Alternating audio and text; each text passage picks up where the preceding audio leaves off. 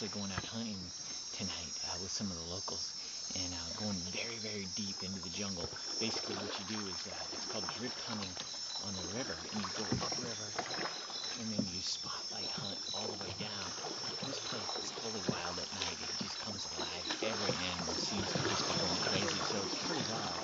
Uh, right now we're settling